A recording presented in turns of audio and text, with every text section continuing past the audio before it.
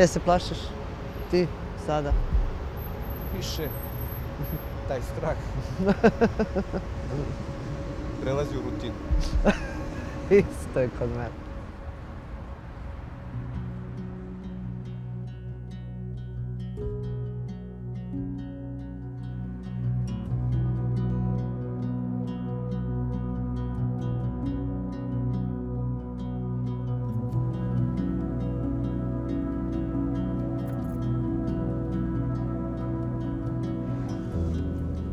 Volim da vozim zato što kad vozim onda razmišljam o pričama.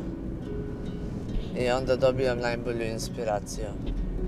I volim, ako mogu, svaki, svaki vikend ili svaki drugi, bar jedan dan da odem do Vršca. I onda me ta vožnja, kad sam sama u autu, ta vožnja me zapravo opusti i tad nekako imam vremena da saberem sve informacije koje sam primila tokom prethodnog perioda.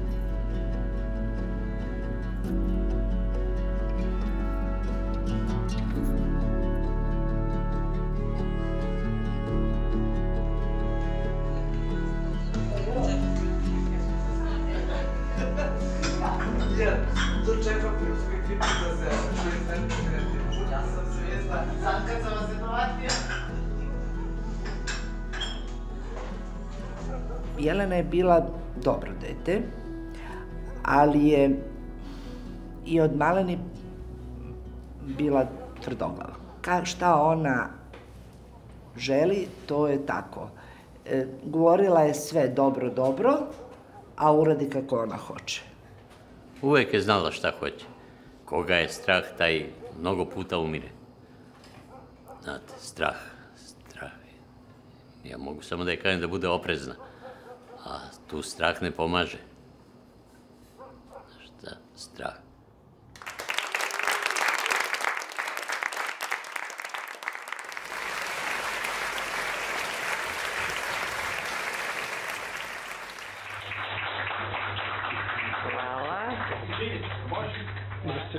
Evo da ću malo tu da izađemo, da?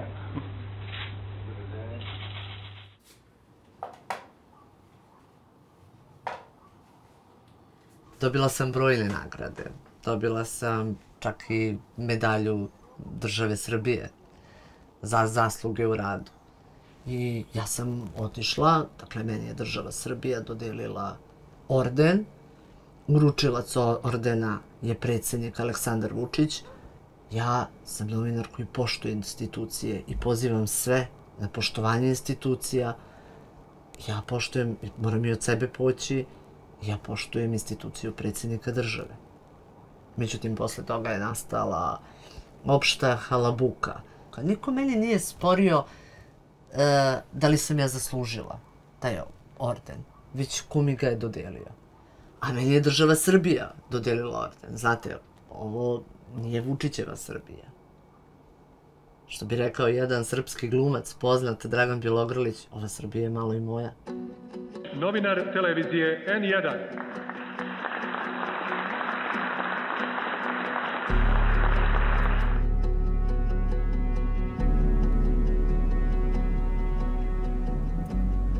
Posle svih ovih nagrada, e, umesto da uživam i da kažem evo sad sam poznata novinarka, svi znaju šta radim i da živim na lovorikama stare slave, ja sam se upustila u novu avanturu bukvalno sam krenula u novu školu istraživačkog novinarstva sa Insiderom i vrlo sam ponosna na to i vrlo će mi biti bitno u životu.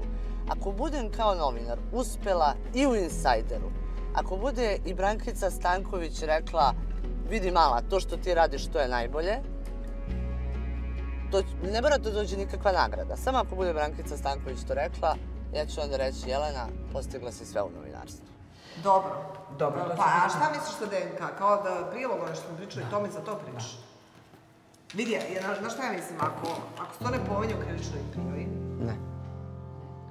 Pa, uh, Jelena Zorić uh, je prešla u Insider, što je nama uh, velika čast, uh, zato što je ona već poznata novinarka u Srbiji. Ona je došla iz jedne dnevne redakcije, a zapravo uvek žela da se bavi istraživačkim novinarstvom i to je ono što će ona raditi ovde kroz neke svoje emisije koje će raditi, ali naravno radimo zajedno i Insider serijal. Strah je prerastao u paniku. Kada je Zoran došao do rampe u pravcu Pančevačkog mosta, na kraju koje je deponija, a Jelene nije bilo nigde.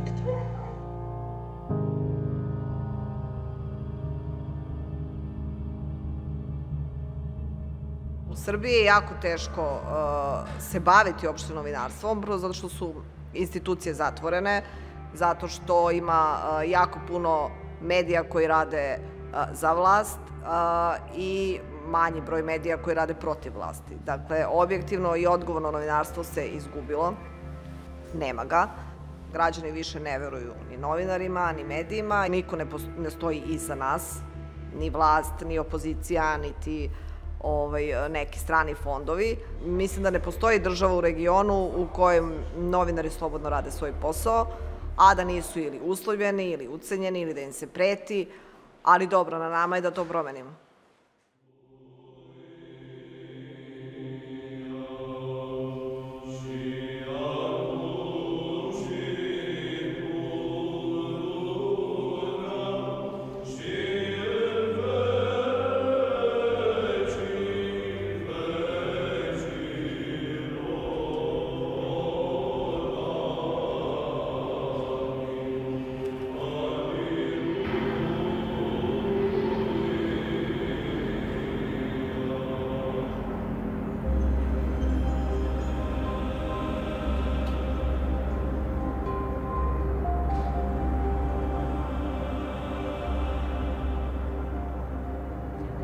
Așa că noi am actualizat-o în 9 iunie, când am scris noi la final de 2018 ei aveau uh, în jur de 550 de milioane de lei uh, dați bani publici, la care li s-au mai adăugat până în iunie 2020 încă vreo 200 de milioane de, de lei. Dar adică... stai un pic, vorbim de uh, totalitatea sumei date și de Secretariatul de Stat pentru Culte și de primăriile din București și sigur micile sume care poate și de guvern. Greu să acoperi și perioada dinainte să-ți dai seama. Și a mai dat guvernul și, mă rog, alte sume băgate în uh, povestea da, asta. plus terenul, că și ăla până la urmă sunt uh, peste 150 de milioane de euro.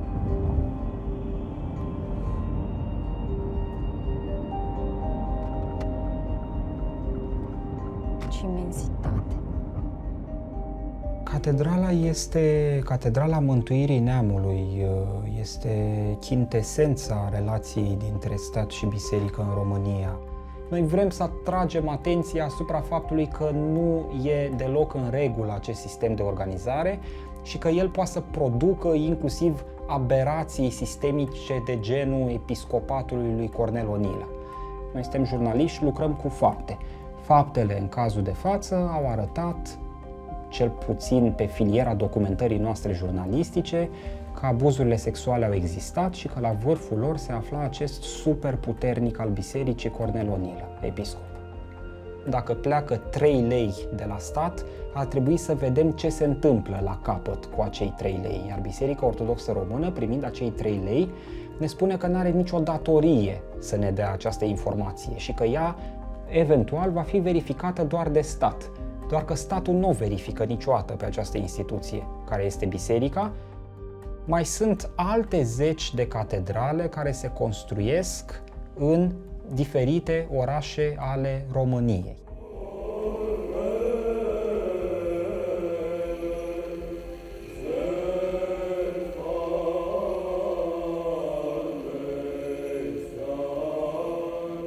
Faptul că avem această instituție Uh, pe care o considerăm anacronică nu pentru că propovăduiește credința în Dumnezeu, e o prostie uh, uh, să credem noi asta și e o prostie cine crede că noi vrem asta.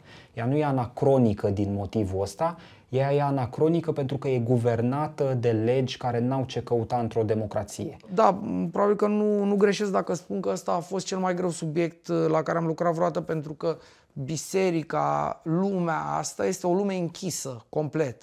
Uh, e o lume închisă și o lume care funcționează după niște tipare uh, profund medievale, adică nu există o, o a fost o, o investigație extraordinar de uh, grea, dar în același timp uh, cu niște rezultate mm, na, absolut spectaculoase pentru noi, pentru că na, cumva am reușit să scoatem niște lucruri foarte sensibile dintr-o lume foarte, foarte închisă.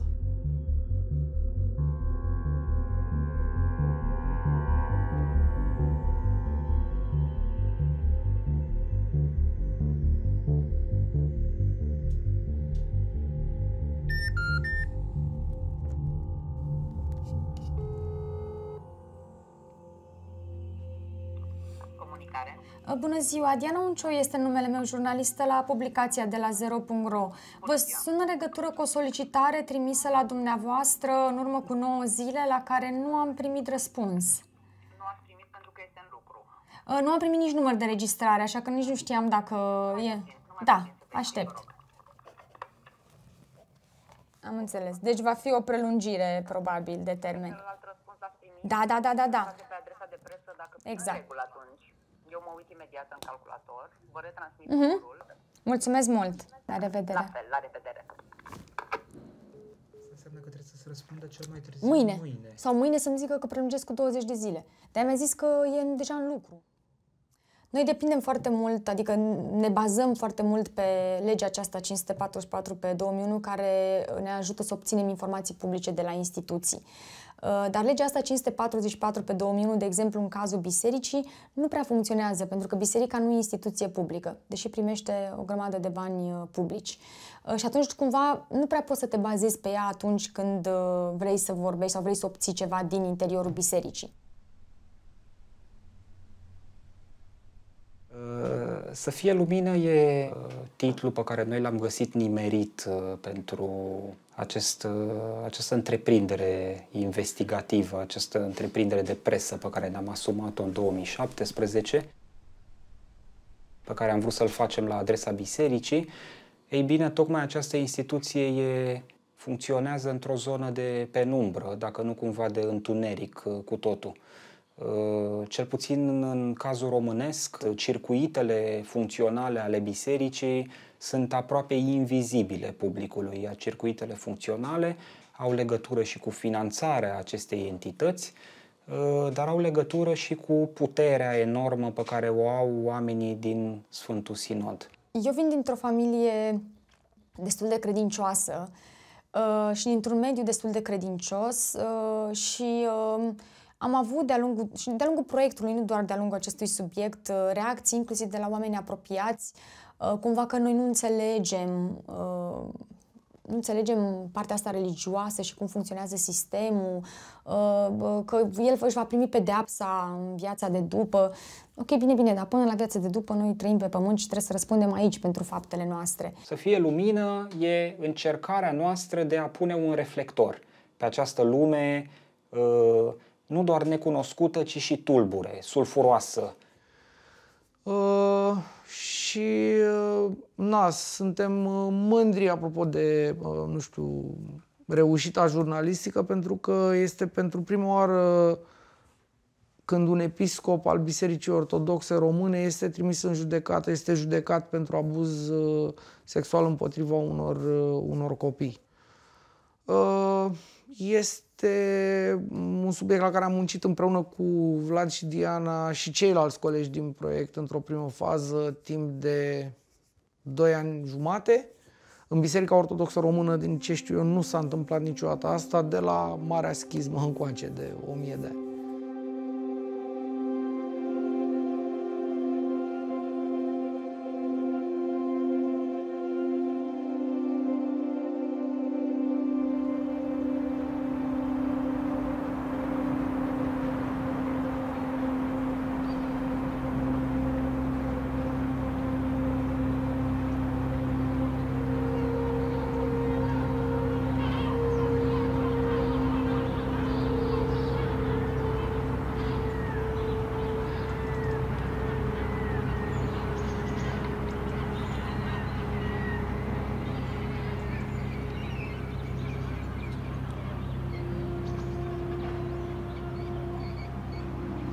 Shumë perceptime për këtë gjë. Njerëzit të presin që ti të jesh një farë detektivi, presin që ti të jesh në televizion gjithkohës. Ka shumë gazetarë që e bëjnë këtë gjë, më tentojnë të flasin për për të vërtetat vogla. Në fakt unë e shikoj komplet ndryshe. Puna e një gazetari investigativ është më shumë të ë po ta shikosh është ti je gjithkohës mbi lektra, mbi dokumente, ku tenton të qëmtosh dhe të kapësh faktet. Kështu që puna kryesore është të gjesh faktet dhe ë pjesa më e madhe e kohës na shkon duke lexuar letra, kështu që ë, nuk nuk i shkon për shtat perceptimit të, të shumicës njerëzve që thonë ti je duke luftuar krimin, ë, duke shkuar në rrugë dhe duke i vënë gjoksin kësaj gjëje në fakt.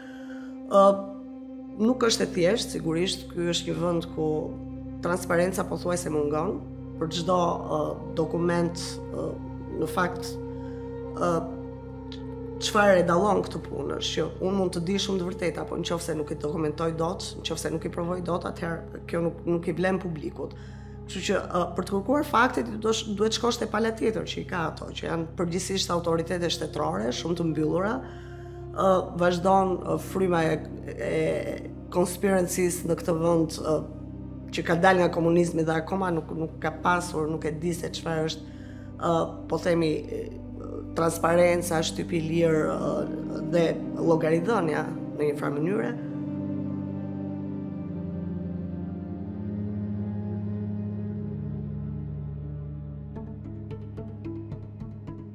Kam ardhur në Tiranë në një kohë vështirë, ishte viti 1998. Si shumë njerëz në Shqipëri në asaj kohe nuk e kisha konceptin e qartë se çfarë gazetaria ishte. ë. Unë isha e dhënë mbas letërsisë, isha e dhënë mbas të shkruarit, më pëlqente shumë kjo gjë dhe mendoja se ë, letërsia e mirë në fakt ishte një formë e gazetarisë dhe uh, gazetaria në atë ishte një dek shumë e re dhe unë mendova që nuk kisha dëshirë të shkoja për letërsi, por dëshiroja që edhe të kërkoja të vërtetën në një farë mënyre goditje ose një një gjë, një, një zgjedhje që ose profesioni më kishte zgjedhur mua më shumë se sa e kisha zgjedhur unë, se nuk kisha i qartë atëherë, isha vetëm 18 vjeç. Dhe uh, kështu filloi rrugtimi. Gjithmonë i kisha veshët ngritur në atë kohë, mbaj mend që nuk isha shumë e kënaqur me punën, uh, presioni sa vinte dhe rrite edhe nga gazetë, ndodhen gjëra shumë të rënda në atë kohë, ka qenë viti 2011, i ndryshoi gjërat, i ndryshoi, pra i ndau dhe më keq, e polarizoi dhe më keq media në Shqipëri në atë kohë. Uh, kush ishte uh, pro ishte fare dukshëm pra pro qeveris, të detyrohemi ndonjëherë të bëj edhe histori të cilat uh, nuk nuk ishin ashtu siç duhet profesionalisht. Kështu që uh, në 2014 kur ngjova që Birni do hapte zyrën në Shqipëri, sigurisht duke pasur kontakte në atë kohë, kam uh, i kam takuar kolegët e mi dhe u kam thënë lutem më bëni një vend sepse unë jam gati të vi. Uh, këtu u po që pra u bashkuan uh, rrugtimi im me rrugtimin e Birnit, i cili vazhdon prej 7 vitesh. Ne këtu bëjmë uh, sigurisht gazetari të mirë, uh, ky është qëllimi ynë, të bëjmë të mirë, të bëjmë uh, gazetari e cila uh, mban në një farë mënyre uh, kontrollin, uh, pushtetin në kontroll.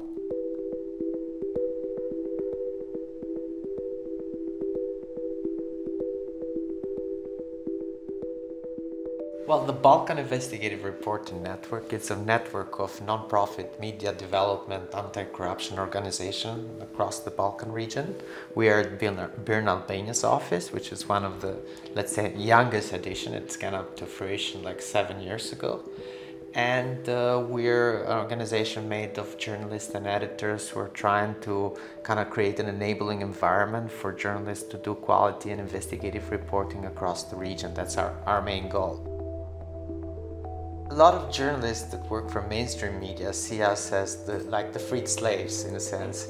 We, they think that because you don't have an owner to kind of like censor maybe the, the work that you do, that makes it easier.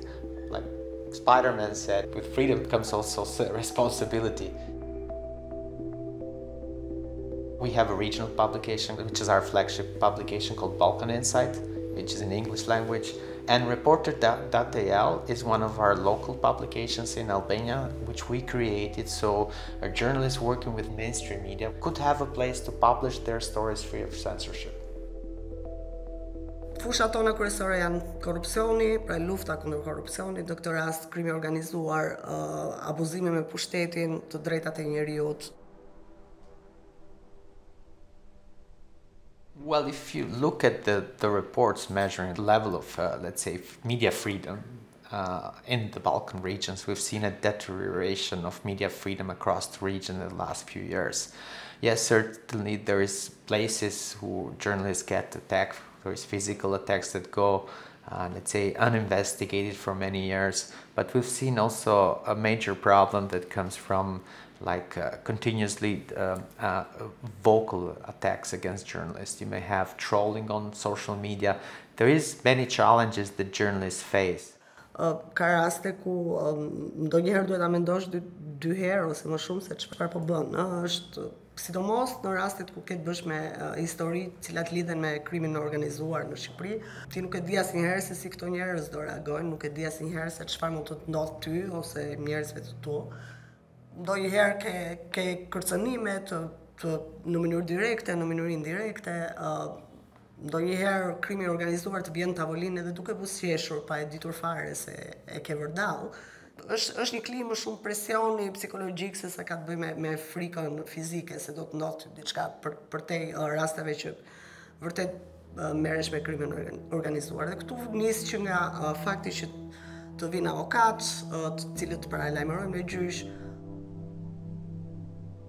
it's one of those professions that if done properly it has a lot of stress. I mean you're going against powerful interests and powerful people all the time and that certainly takes some toll of them particularly stressful can be also dangerous sometimes or uh, dangerous in a sense could be both economical in terms of lawsuits or can be physical in some unfortunate cases we can just not mess things up because Birn is something that is is a network of journalists. It's something funded by taxpayers, but it's not something we own. It's not our property.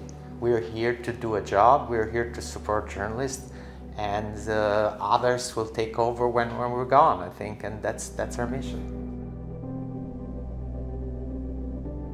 Të bësh gazetari investigative dhe gazetari të mirë është pra të raportosh është qef dhe është shumë mirë. Uh, ne themi uh, humori një gazetari vjen duke u rritur dhe pastaj bie vazhdimisht dhe duke u rritur sepse ti ke një histori, ke një hipotezë, uh, kërkon prova për atë, gjen dokumente, mendon se e ke e ke provuar tashmë gati për ta botuar dhe pika e rënies është tek çfarë uh, ndodh mbrapa.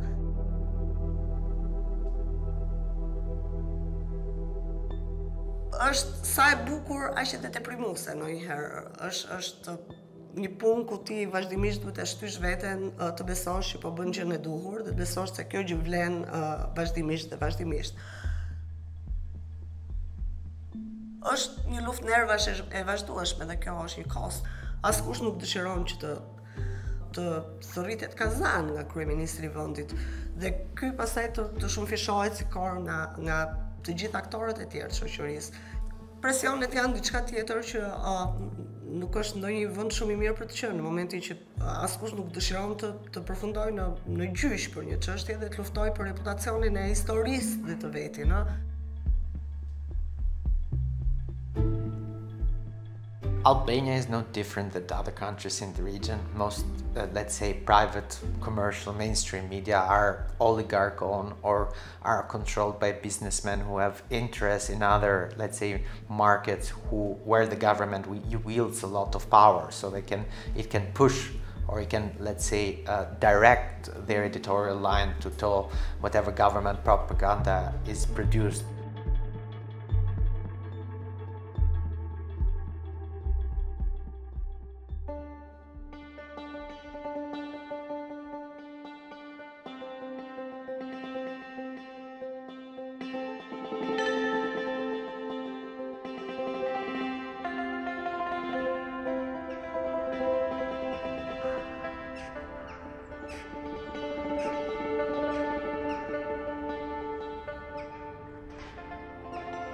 Майка ми беше доста категорична, като каза България още не е готова да посрещне децата си от чужбина. Тя говореше малко по общо, но от това, че жена на 80 години е живяла тук и вижда какво се случва, тя беше доста, доста против. Сестра ми, която е също журналист, и тя беше доста против. Но в един момент успях да ги убедя, че е възможно да се случи някаква промяна и, и аз бих искал да бъда част от тази промяна. Ред колегията на БНР поиска оставката на генералния директор на радиото Светослав Костов заради временното отстраняване от ефир и отнемането на ресора на журналиста Силвия Великова. Следващият петък СЕМ ще обсъжда искането за оставката на шефа на радиото. Заради спирането на сигнала на програма Хоризонт за 5 часа на 13 септември, съветът ще наложи глоба на радиото, а заради думите на журналисти за оказан натиск ще бъде сезиран на прокуратурата. 2019 година следях с интерес това, което се случваше с Българското национално радио. Първо, че бях шокиран от това, което се случи с спирането сигнала на програма Хоризонт. И след което много така интересно ми беше да видя а, какво ще се случи с радиото и въобще с цялата тази обстановка и ситуация. Пред Българското национално радио се събират хора в подкрепа на журналиста Силвия Великова. Вчера тя бе освободена и върната на работа в рамките на няколко часа. Кана Рачева разказва за казуса с съдебния журналист. Здравей, Кана! Добър ден на сградата на Националното радио. Тук и в този час все още идват колеги журналисти от всички меги. Според тях основното днес остава не защо Силвия Великова е отстранена и върната след това само за няколко часа от ефир, а защо и България остава все още на 111-то място а, по свобода на словото. Светослав Костов а, ме покани на среща в Борисовата градина, а, тъй като имал съмнение, че му подслушват кабинета. А, това беше среща, в която ми обясни, че има критики към начина по който отразявам процедурата за избор на Иван Гешев, че има някакви хора, които не искат аз да водя, да отразявам тази процедура и че ми предлага вариант или да изляза в отпуска, или да отида в командировка в Стара Загора, за да обучавам колегите ни в радио Стара Загора. Той изглеждаше притеснен и през цялото време повтаряше, че това трябва да се случи, защото там някакви хора много натискали това да се случи. Аз му обясних, че няма как да се случи това нещо и че ако иска да ме махне, аз ще разкажа. Разговорът приключи. Вече на следващия ден той все пак реализира това, което беше решил да направи. Той задвижи се цялата процедура смениха ресорния репортер, сложиха човек, който да отрази протеста на Гешев и колега, която да поеме предаването на следващия ден. И може би около 3 часа по-късно, общо взето социалните мрежи гръмнаха и последва обаждане от тогавашния министр-председател Бойко Борисов, който прецени, че е важно да ми каже, че той няма нищо общо с това. Когато научих вчера за свалянето на Силва Великова, аз се обадих лично. Като чух за тази глупост, която се сътвори, обадих се все пак тя да ми потвърди. Тя ми каза, разпоредих, защото аз не го познавам директора на БНР. Не го познавам и никога не съм го и виждал. Но помолих да му предадат, защото изпълнителната власт само дава парите, а не се меси. И му казах, че все пак обаче съм и председател на партия. И ако не прави това безобразие, днес сутринта няма да дойда в Русия, ще отида в парламента и ще поискам парламентарната група му взема оставката или да му поиска оставка. Какво повече да направя? Глава над... Четири часа по-късно след това обаждане ми се обади самия Святослав Костов да ми каже, че всичко е приключило, че аз ще си водя. Като вървеше цялата тази суматоха с изчакване на обаждания и защо явно взимане на някакви решения – в Хоризонт се е появил едно лище с съобщение, че на следващия ден Хоризонт ще спре за 5 часа поради техническа профилактика.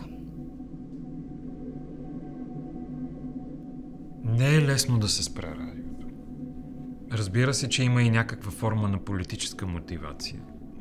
но е факт, че а, за първи път в историята си сигнала на програма Хоризонт спира. За 5 часа. Беше очевидно, че е поръчка. А като аз не знае дали поръчката е била такава, точно.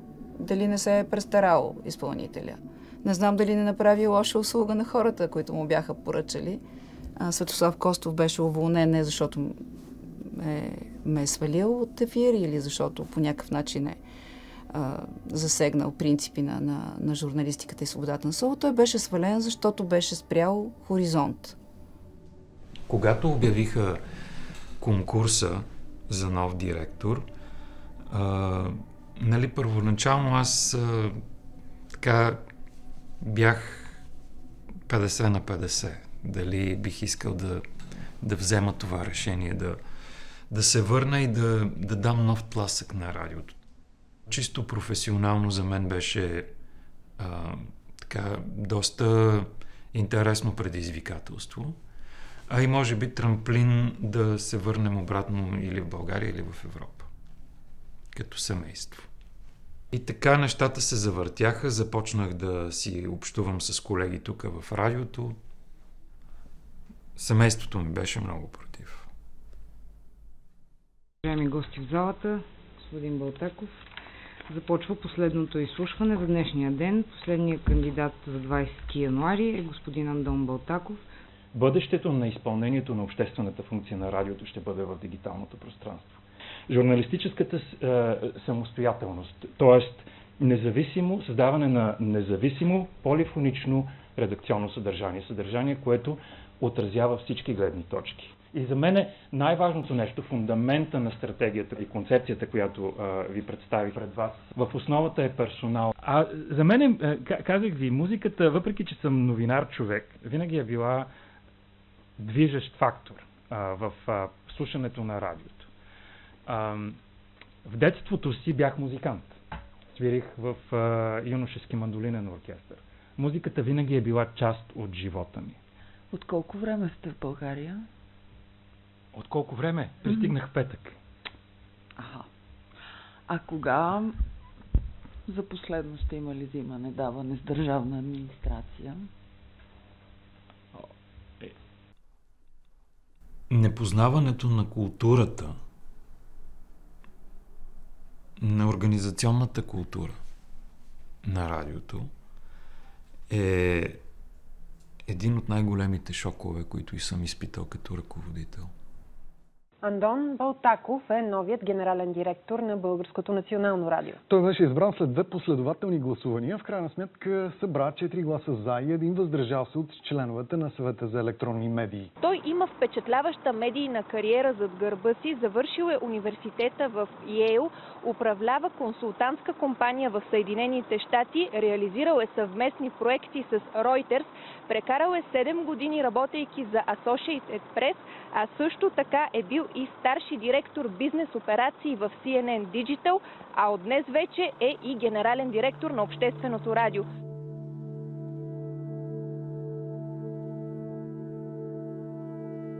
Сега си давам сметка в какъв балон съм управлявал.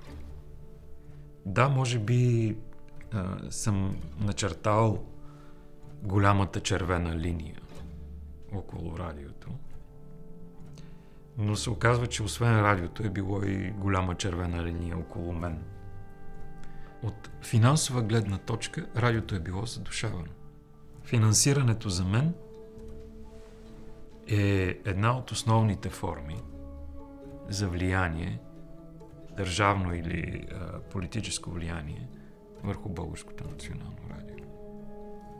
Другото е, а, което за мен също беше основен проблем – е управителният съвет. И начина по който се структурира а, управлението на Българското национално радио и контрола. Това са а, проблеми, които са трупани две десетилетия.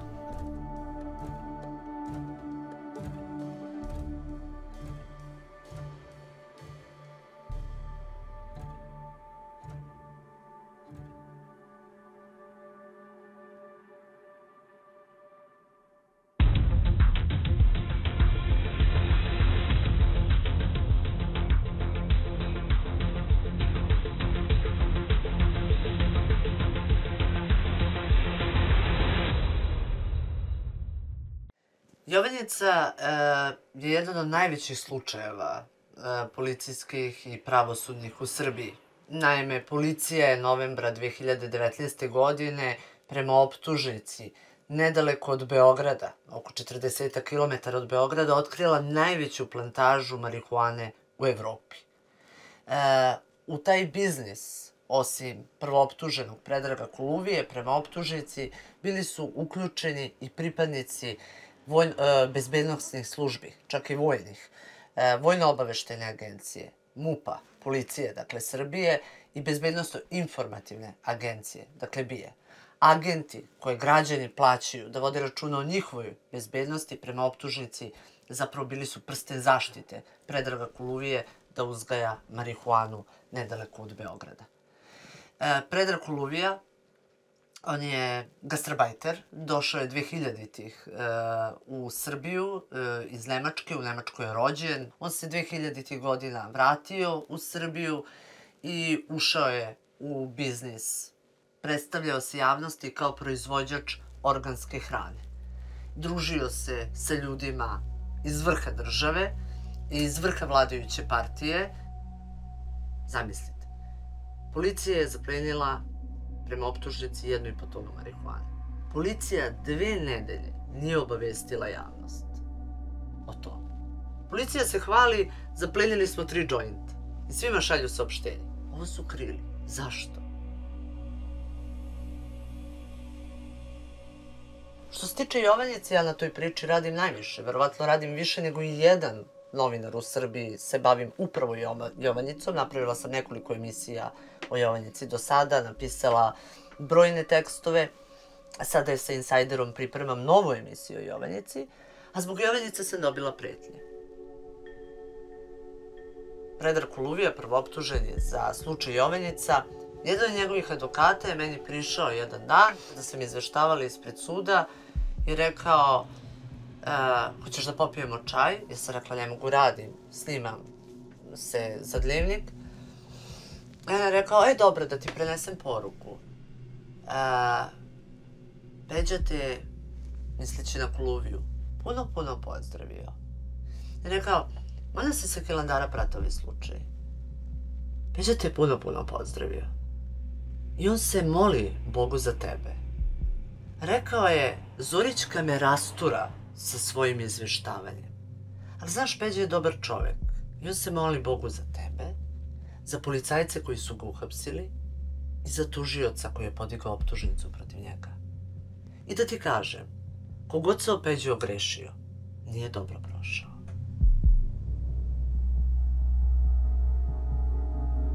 Dan posle tih pretnji, isti taj branilac mi je prišao dok sam sama stojala ispred suda i rekao, ej, da ti kažem, za malo Peđa danas da izađe iz pritvora.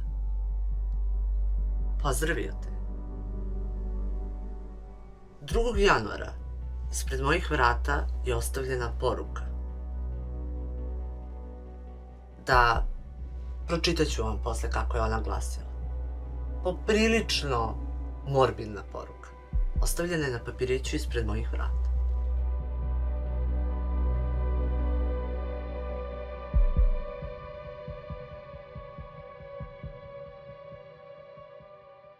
Ale mamy Sipajte. Probala sam ja da pričam sa njom koliko je to sve opasno što ona radi, međutim, kaže vam, ona kaže dobro i opet uradi kako ona hoće. Strah nas je, ali ne pokazujemo, možda ja više kao majka, otac to muški odnosi, ali mene je strah, ali je podržavam.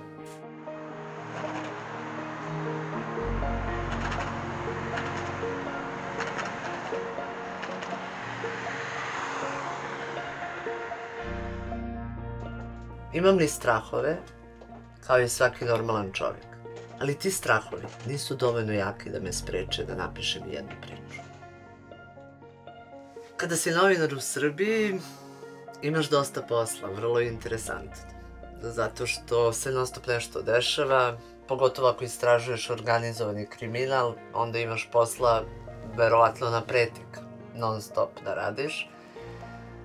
Ali nazivaju te stranim plaćenikom, domaćim izdajnikom, a ovako živi uh, u jednom baš malom stanu, maltene sobi, živi obični istraživački novinar u Srbiji i ovde su nastale moje najbolje priče. Da vremenom čak i oni koji ne vole to što istražujem su počeli da me cene. Zato što znaju da to što napišem, to je istina. I to je tako. Ako je istina ružna, to nije moj problem. To je problem onih koji su istinu napravili ružno. Koji su recimo krijumčarili kokain, uzgajali marihuanu, ubili nekoga, proneverili neki novac, e, trgovali oružjem sa trgovcima sa crnih lista. To je njihov problem, ne moj. Moja je dužnost da napišem priču o tome i da obavestim javnost. Moglo bi se reći da ja radim za javni interes, a protiv organizovanog kriminala.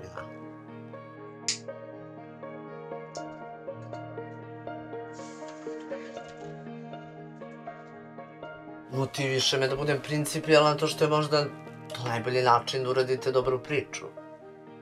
Kada ste novinar, morate da budete principijalni, ali morate da budete i otvorenog, i uma i srca, da razumete ljudske odluke.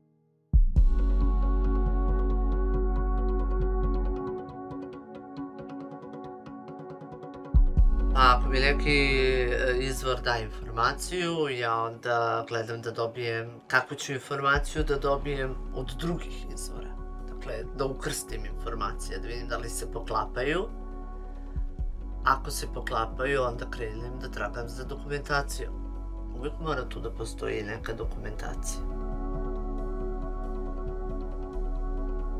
Ako znate šta tražite, možete jako brzo da nađete. Nekada, a kada dobijem informaciju, bukvalno do kraja dana mogu da složim priču. Jer znam šta tražim kad dobijem informaciju i kad krenem da je proveravam. Ali nekada to traje i po godinu i po dve i po tri, nekada baš dugo traje. Nekada trag jedne informacije pratite, zato svaki sastanak na neki način morate da beležite sve te informacije, jer možda će vam iskrsnuti za godinu ili dve. Svaka priča ima svoj život. Iza svake velike priče krije se još veća priča o tome kako je ona nastala. A to su neispričane priče.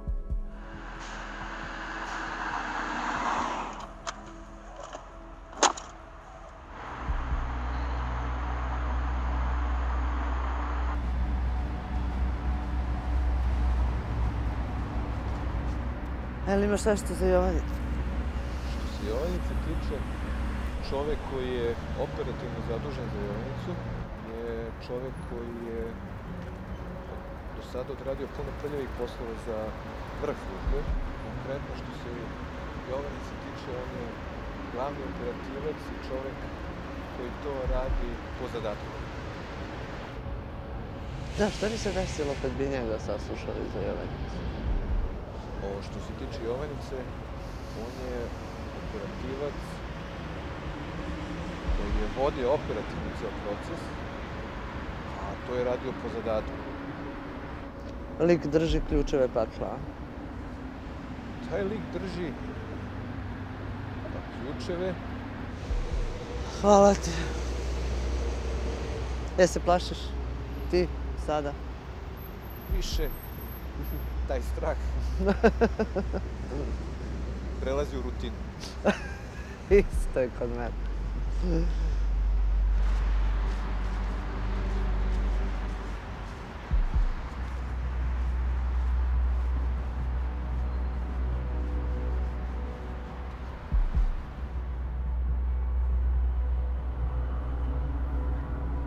Sveštenik ima pravo svakoga da ispoveda, advokat ima pravo svakoga da brani, svako ima pravo na odbranu, lekar ima pravo svakoga da leči, svako ima pravo na lečenje, novinar ima pravo sa svakim da razgovara i sa kriminalcem. kad sam pratila isključivo crnu hroniku i saobraćene nesreće i, i ubistva i sve, osam godina sam ustajala svaku noć. I nekada i po tri puta na noć. Imam izvore koji vole da se vide uveče. Mislim, prije im uveče i osjećaju se bezbedno.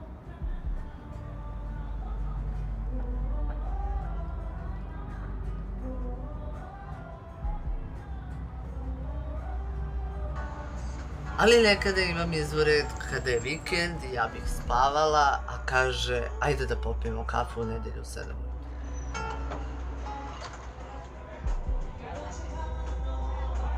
I već 15 godina ustajem noću i idem kad se nešto desi. Moj telefon se nikada ne gasi.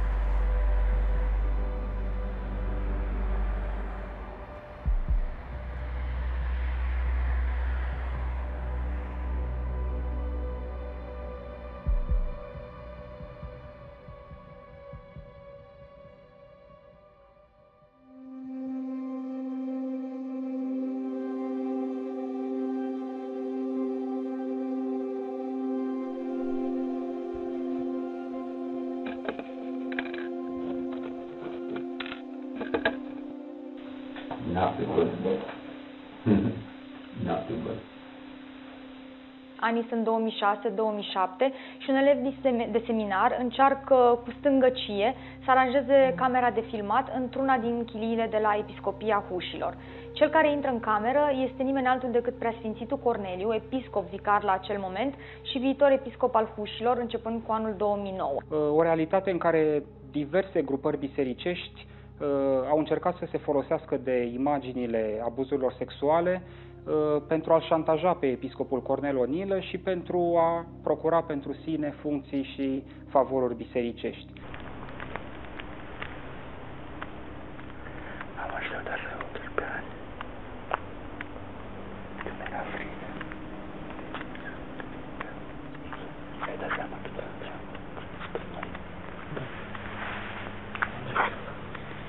Experiența la, la subiectul um, pe abuzurile sexuale de la Huș um, a fost una dintre cele mai grele și este foarte dificil să reușești să vorbești cu, cu oamenii. Cu atât mai dificil este să vorbești cu niște băieți care au fost abuzați sexual. Uh, La un moment dat, vorbind cu atât de mulți, cam poți să intuiești care sunt victimele, poți să le, recon- să le reconstitui cumva povestea, povestea abuzului, dar altfel da, iar tinerii ăștia n-au primit niciodată ajutor, e crunt. Unul dintre, una dintre victime, în cazul lui, nu știe nimeni din familia lui, nici prietena, concubina, soția, partenera lui, uh, nici ea nu știe, adică oamenii ăștia n-au vorbit despre abuzul ăsta cu absolut niciodată și trag după ei această traumă care este absolut cruntă.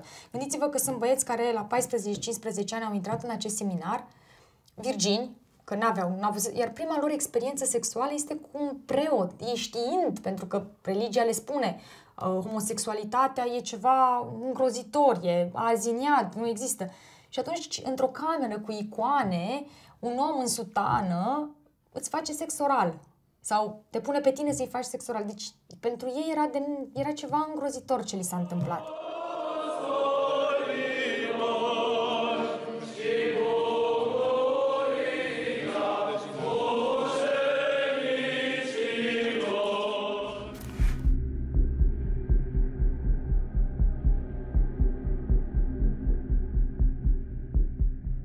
Acesta a fost foarte confuz pentru ei și cumva și uh, colegilor care știau îi condamnau. Le spuneau, a, păi dacă te-ai mai dus și a doua oară și a treia oară, înseamnă că ți-a plăcut.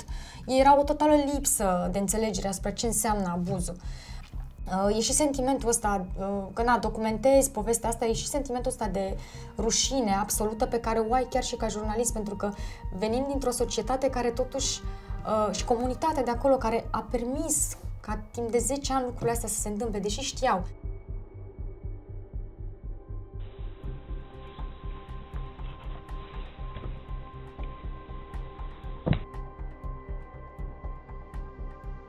Sătul de uh, șantajul la care era supus la el în episcopie, Onil, uh, sfătuit probabil de avocat, uh, se duce întins către DNA Iași, unde depune o plângere în sensul ăsta. Toate imaginile uh, abuzurilor sale sunt uh, ridicate de procurori și ajung în sfârșit în, uh, în mâna autorităților, în mâna uh, oamenilor legii din țara asta.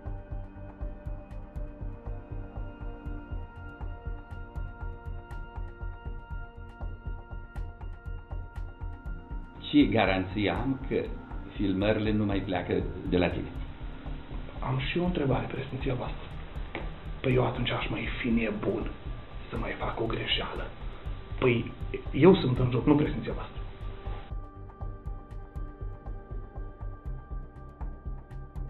A fost așa un decupaj foarte, un decupaj interesant pe care l-au ales uh, uh, instituțiile să, să-l facă și anume să se uite doar la șantaj și să ignore complet imaginile abuzului. Mi se pare incredibil că le pui la sertar și mi se, mi se pare incredibil că nu au existat consecințe pentru procurorul care a făcut asta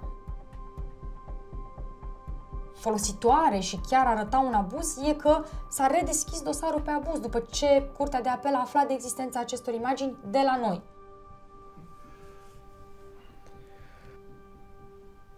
Noi am supărat uh, în, într-o societate ca România, noi am supărat un jucător foarte important, și anume biserica, în ansamblul ei.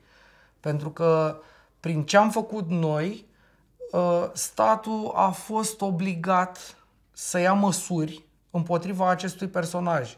Uh, episcopul a fost arestat timp de două săptămâni de zile, a fost în arest preventiv, în celulă. Uh, nu a existat așa ceva până acum. Dar uh, pentru mine încă este un șoc că procurorul care a decis să țină la sertarea acelei imagini n-a suferit nici, adică nu există nicio consecință pentru gestul acesta, gestul acesta al lui. Ar trebui să spun înainte de toate că noi am fost dați în judecată la începutul acestui an de chiar de Cornel Onilă. Ne cere acești bani uh, și, desigur, ne cere ștergerea articolelor de pe internet, de pe site-ul Să fie lumină. Noi suntem acum dați în judecată și ni se cer uh, uh, 250.000 de euro de la noi trei, eu, Diana și Vlad, uh, pentru că l-am uh, l-am denigrat. Și atunci trebuie să mai aleg foarte, foarte atent cuvintele. Este primul proces în care eu sunt eu chemat în judecată.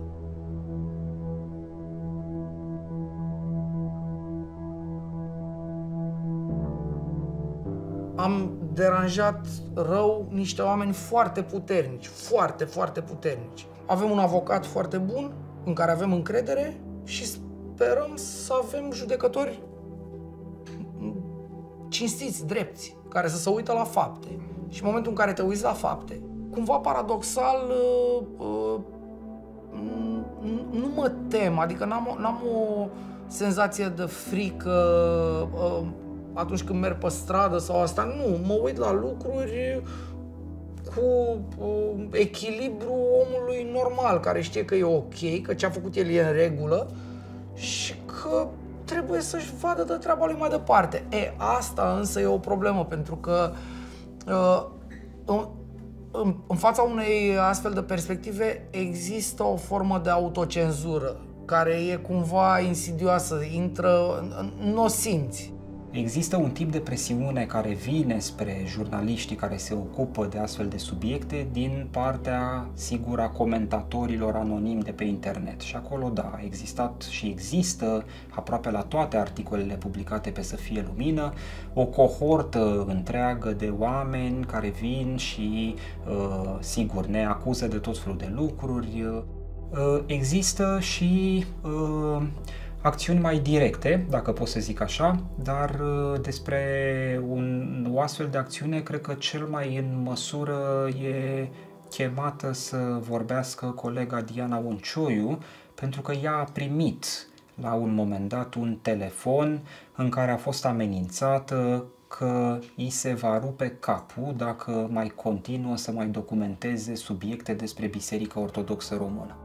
Diana a mers la poliție la momentul respectiv, a depus o plângere uh, și sigur, respectivele persoane au fost identificate.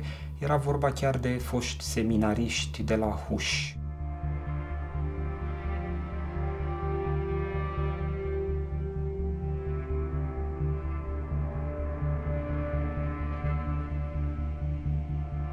Eu chiar lucram atunci la un alt subiect și credeam că telefoanele astea de pe număr necunoscut au legătură cu un alt subiect.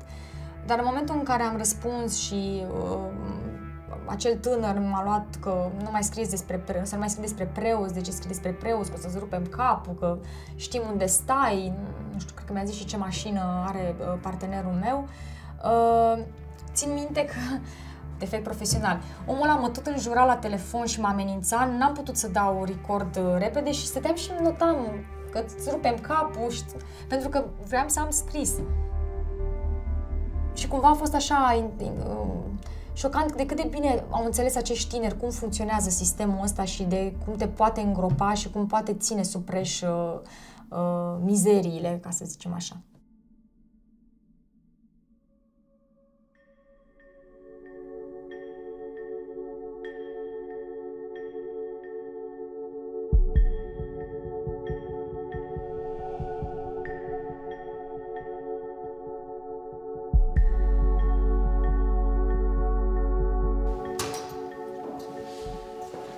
Locația în care uh, se află redacția noastră uh, este uh, Casa Presei Libere, uh, doar că noi ne aflăm cumva în spatele ei, care nu se vede. Clădirea este absolut uh, impresionantă, este foarte mare, uh, doar că este acum un pic părăsită.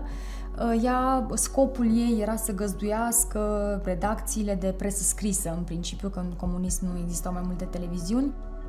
Nu e un spațiu foarte prietenos, mai ales dacă vii prin spatele ei și cu atât mai mult corpul ăsta de clădire. Sub noi este tipograf- o, o tipografie, da, t- și o mașinărie care se aude și face un zgomot incredibil de fiecare dată, pentru că toacă hârtie, uh, dar da, pare așa un pic spooky, mai ales seara.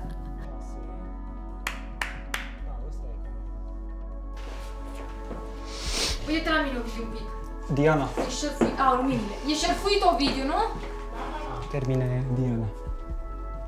Așa. E ok, Vlad Bianca?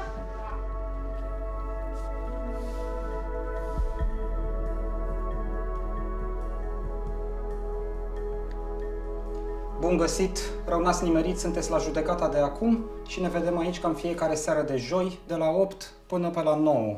Salut Ovidiu! Salutare! Habemus Guvern. Da, păi uh, sărbătorim, nu? Uh, suntem martori la nașterea uite, acestui eu mare- sărbătoresc cu apă. Eu mi-am uitat apa dincolo, n-am...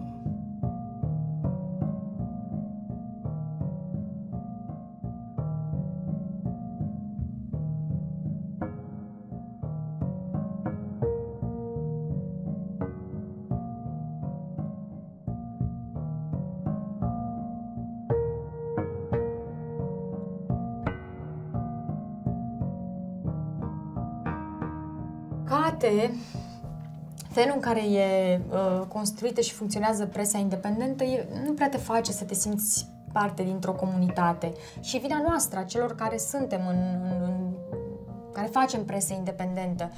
Dar probabil că dacă am fi un pic mai uniți, asociați, uh, nu doar că ai avea acest sens de uh, comuni- că faci parte dintr-o comunitate care să-ți, of- să-ți dea și sentimentul de protecție și de sprijin, dar ne-ar face și mai puternici pe noi.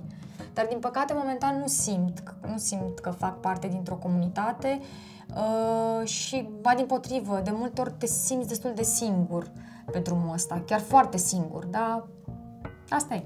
Ne-am, uh, ne-am asumat uh, acest drum, ca să spun așa.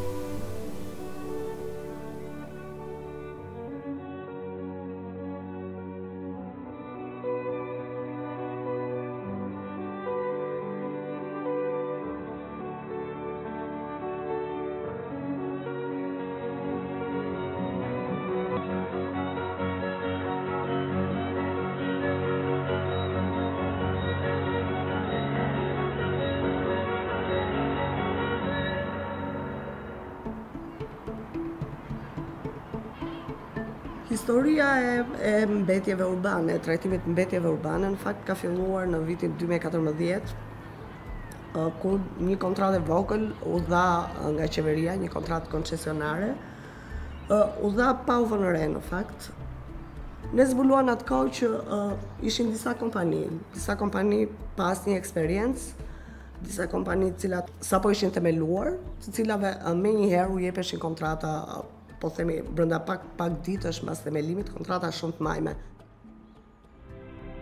Alptec Energy quhet kompania e themeluar në datën 10 korrik 2014 dhe e regjistruar në qendrën kombëtare të biznesit në 14 korrik të po atij viti. Bazuar mbi një ofertë të pakërkuar dhe me një procedurë negocimi pa shpallje, kompania Alptec Energy u shpall fituese për ndërtimin e inceneratorit të Elbasanit. Për të nënshkruar këtë kontrat, u desh të angazhoj me urgjencë thuajse e gjithë qeveria për të përfunduar një proces të dyshuar për shkeljet procedurave ligjore. Në një kohë rekord u kryen të gjitha procedurat për ta finalizuar gjithçka brenda një dite. Një kontrat prej pothuajse 60-70 faqesh brenda ditës shkon në gjithë ministritë e linjës, kthejnë përgjigje gjithë ministritë e linjës, jep okay në Ministria përkatëse që do zbatonte, japin okay në bashkit dhe njëkohësisht komunat, ish komunat e përfshira atje në qarkë, firmoset kontrata, publikohet kontrata, negociohet kontrata.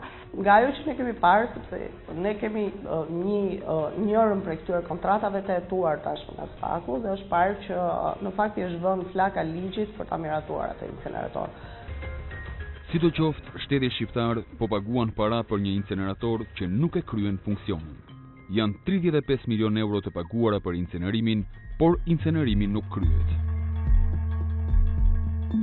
Në kohën që ne uh, bëm gati pyetje të përpalët, sepse po bënim gati historinë, ajo që ndodhi është uh, nga të gjitha personazhet e përfshirë, ne kishim telefonata të tipit uh, pse po e bëni ju këtë? Ne do ju hedhim gjyq vetëm sepse tenton të bësh një pyetje. Uh, Pra ishte një, një situatë ku të gjithë uh, praktikisht po nxirrin në në linjën e parë avokatët e tyre dhe ne kishim shumë të qartë që kjo histori në një farë mënyrë do përfundonte në në dyert në dyert e gjykatës. Kështu që ne ishim përgatitur, ajo që na ndodhi është që morëm uh, dy ditë të tjera për ta rikontrolluar historinë nga e para, për të verifikuar çdo fakt që ne kishim përmendur aty, për t'ia bashkangjitur uh, historisë uh, dokumenti për katës për çdo fjalë të të ishim shumë të kujdesshëm për çdo fakt që kemi përmendur. Dhe sigurisht mbas historia u publikua, pati dy ditë heshtje nga të dyja palët, pastaj uh, u mor uh, u mor dhe u rimor nga opozita për të thënë që kjo është një aferë e, e qeverisë aktuale dhe uh, vazhduan denoncimet. Projektet e inceneratorëve janë zbuluar si projekte dhe afera korruptive dhe kriminale. Të treja kontrollohen nga i njëti person, i cili shërben si figurin për të fshehur pronarët e vërtet, duke të qartë që pronarët e vërtet janë Arben Ametaj dhe Edi Rama. Në total, si pas dokumenteve që ne disponojmë, bëhet fjalë për 400 milion euro që do paguhen në 20 vite për ndërtimin e këtyre incineratorëve dhe tarifat që do të paguaj taksa paguesi shqiptar. Procedura kanë qenë gjëja më të mëshme që më ka ndodhur mua në jetën time kur u bëra ministër. Aty aty kuptova ferrin se çfarë se çfarë pam mund të ketë. Kështu që s'jam u fare njëri procedurash që të merrem mund tani, por sigurisht që un marr informacion, ndjek proceset për aq sa më duhet mua. Kur marri dekretin ju them, Karigen ta dhash unë. Punën Detyrën do e mbash vetë. Është shumë e thjeshtë. Se cili mban përgjegjësi vetë. Ne na erdhi pa dia për në gjyq diku një muaj mbas publikimit të shkrimit dhe historia tani vazhdon gjykatë. Ë seanca e radhës është është nesër. Ne sigurisht nuk presim ndot ndonjë gjë madhe nga eksperienca e viteve të kaluara, dhe ne nuk kemi të parë që jemi pa ditur për tyre. Gazetarët të tjerë dhe media të tjera gjithashtu janë kërcënuar me padi.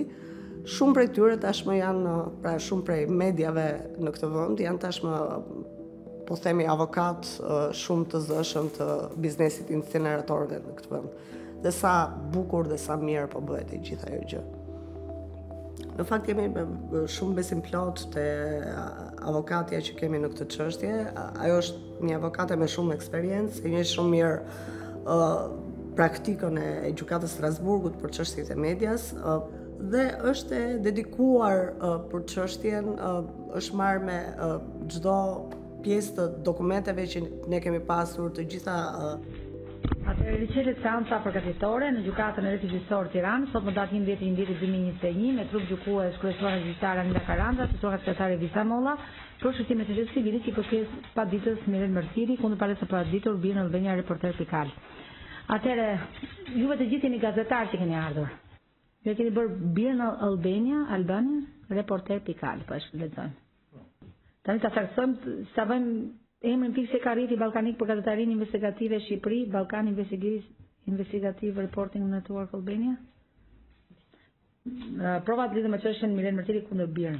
Do më duhet të depozitoj një disk me të cilin ne kemi ardhur në DNI. Disku në fakt është një pamje vizuale e publikuar në rrjetet sociale, në rrjetin social Facebook. Këtë, në këtë video në fakt as më pak as më shumë është vizualisht prezent Paditsi.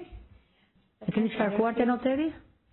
Jo, nuk kemi shkarkuar te noteri, është thjesht tash një pamje vizuale për të treguar O do shkarkohet te noteri ose pastaj ka procedurë tjetër proceduralisht. Për këtë arsye, gjykata vërtet që çështja nuk mund të kalojë në seancë gjyqësore, të qëndrojë përsëri në seancë përgatitore për të përcaktuar saktë rreth i provave të nevojshme për gjykimin.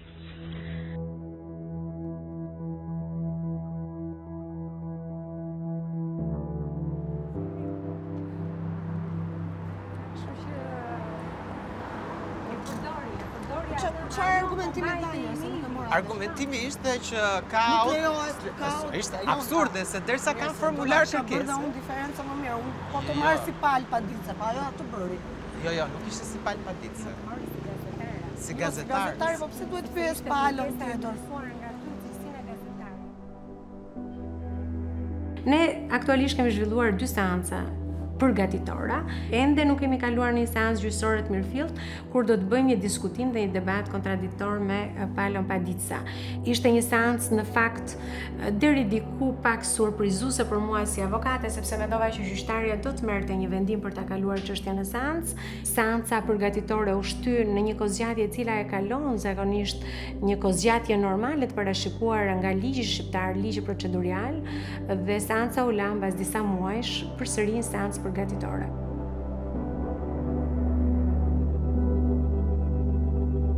Nuk është se ka ndodhur ndonjë gjë, puna vazhdon normalisht.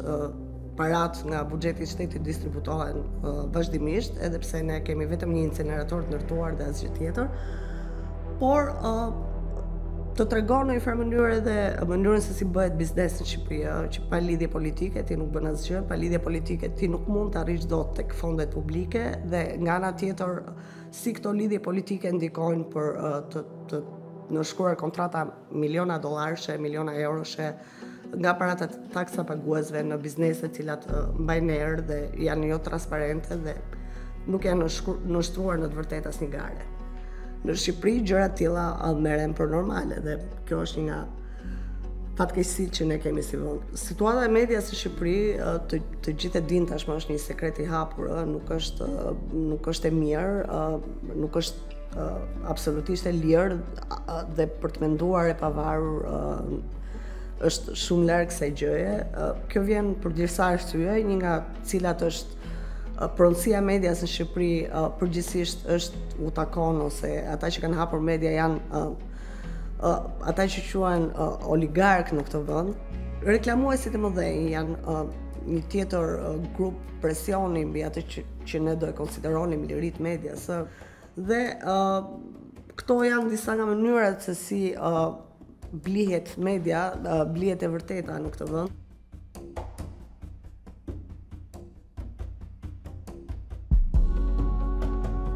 Pikës së parë një mënyrë të qenë, ë, ë, një sens më të madh se sa veten është kuptimi pra unë jam bërë gazetare shumë shumë në moshë shumë të re, kam dashur gjithmonë të jem të jem një gazetare e zonja, të jem një gazetare e cila i shërben publikut dhe kjo gjë është bërë unë tashmë. unë nuk e, nuk e shoh veten të bëj diçka tjetër, kështu që ë është pjesë e imja është është ajo që unë jam, është pasioni im, ë është mënyra ime jetesës, që kuptimi është një gjë e madhe në të parë.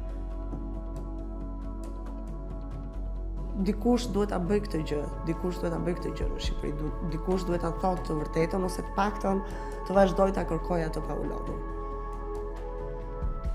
Përgjithsisht është një vend ku ë po themi këtu s'ka pasur një traditë të, të gazetarisë pavarur dhe vazhdon të mos një traditë gazetarisë pavarur është ë zakonisht dhe media dhe gazetarët kanë qenë uh, të afiluar, po themi, me njërën palë politike ose me, me palën tjetër. Dhe të jesh në mes, të jesh i pavarur dhe të kesh parasysh që po i shërben vetëm interesit publik, zakonisht është, është një vend i vetmuar për, për gazetarët, cilët janë vërtet të tjilë.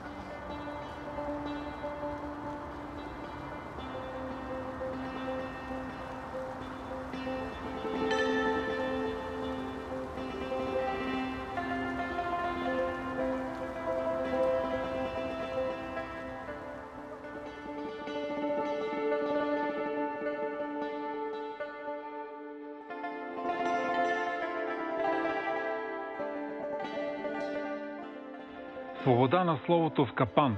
Така Международната неправителствена организация Репортери без граници определя позицията на страната ни в своя годишен доклад.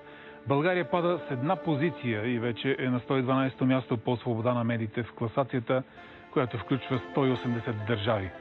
С отговора защо България прави стъпка надолу, Десислава Мича от Париж, където е седалището на Репортери без граници. Здравей! Вечер. Основната причина е, че физическата сигурност на журналисти в България е под въпрос, смятат от репортери без граници и допълват, че няма резултати от разследвания на нападения срещу колеги. За много хора, които са свикнали да по някакъв начин да имат влияние върху директора на Българското национално радио, ще говоря само единствено в частност за себе си. А, някак си а, може би още първите дни а, този подход а, аз го неутрализирах. Да се опитват определени кръгове да имат някакво влияние върху мен. Имат ли ви номера политиците? Номера на мобилния ви телефон? Аз мисля, че а, затрудних доста хора, защото единствената връзка, дори и вашия продуцент, единствената връзка на хората с мен беше през а, Facebook Messenger, което аз мога да избера дали да отговоря или не. Та научиха ли ви за 9 месеца телефона политиците? Почти не успяха и вашия продуцент продължи да ме търси през а, дигиталните комуникационни канали. Разбира се, че сега вече като генерален директор на БНР има нормален начин да се комуникира с мен през а, моя координатор, но за всеки го това е пътя.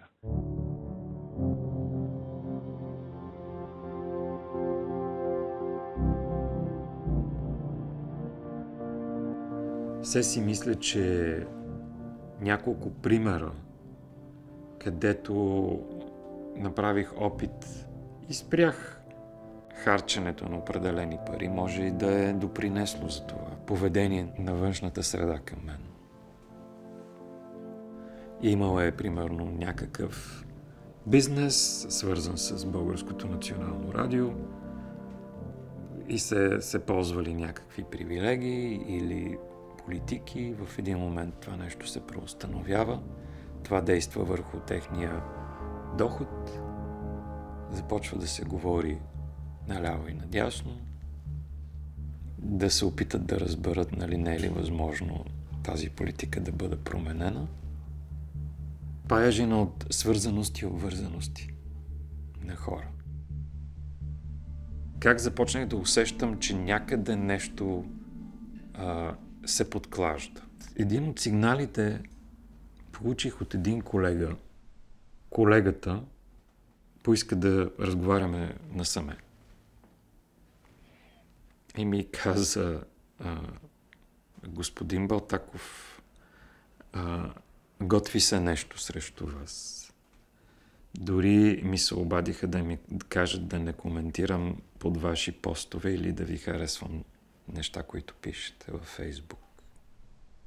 Избраха ме за директор и веднага се започна, че а, нямам стаж в радио, необходимия стаж от 5 години, както е по закон, и че съм търговец. Тоест, имам регистрирано търговско дружество на мое име. Отделно, какви ли не а, истории си измисляха за къде живея, на кого съм човек. То се изреди целия политически спектър. Нали? Че съм човек на еди кого си, или на еди кого си, или на еди кого си. Мизинформация, внушения, а, неказване на цялата, на фактическата обстановка, изкривяване на фактическата обстановка. Та, това е инструментариум, който, а, който, съществува, който съществува отдавна. Значи, ако май месец съм получил някакъв такъв първоначален сигнал, че нещо, нещо, се, нещо бълбука, юни месец започнах да усещам огромно такова вътрешно напрежение в организацията. Недоизказано. Усещам, че е имало и а, някаква форма на политически интерес за това да, да бъда дискредитиран по някакъв начин. На английски това се казва character assassination или uh, убийство на главния герой.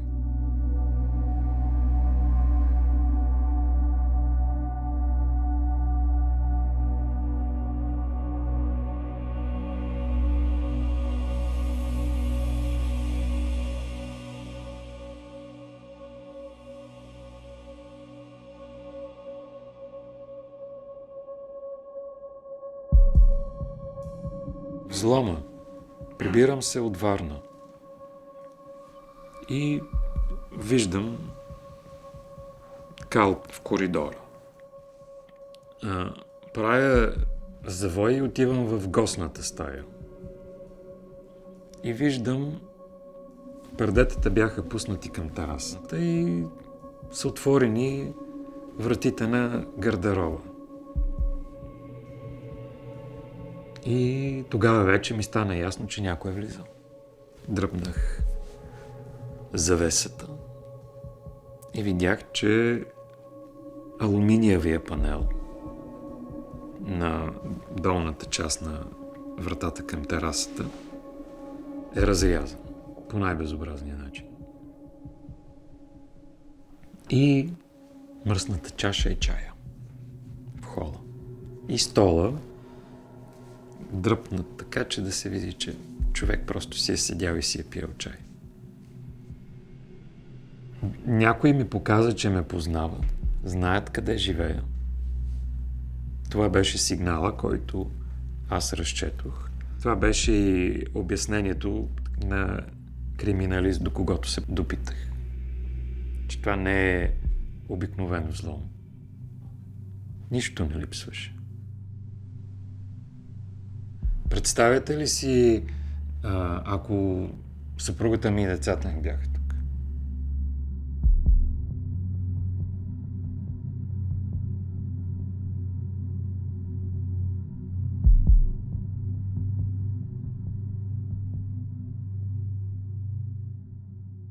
Генералният директор на Българското национално радио Андон Балтаков подаде оставка. В писмо до служителите на радиото той посочва, че мотивите му са дълбоко лични, поради което искрено моли за въздържаност от анализи и коментари.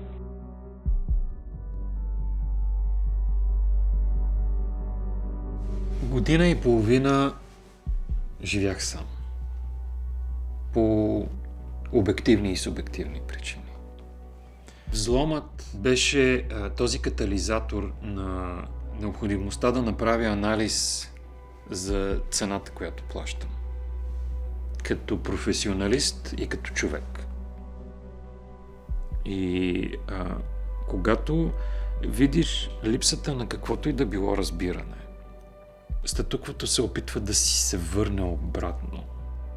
Една година и нещо, след като а, Министерството на културата изкриви законопроекта за радио и телевизия и аз повдигнах въпроса а, ребром за това що е то обществено радио и обществена телевизия,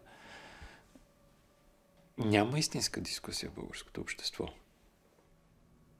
Да, може би съм малко пристрастен по отношение на медийното законодателство в България, но в същото време си давам и сметка, че а, не напразно първа поправка на Американската конституция е именно за свободата на изразяването.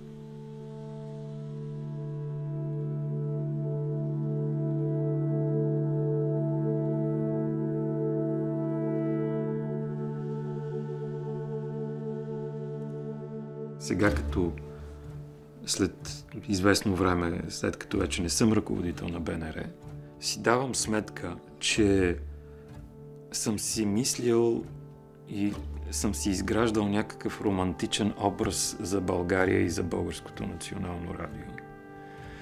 И а, че нещата тук могат да се случат с скоростта, с която съм свикнал да работя.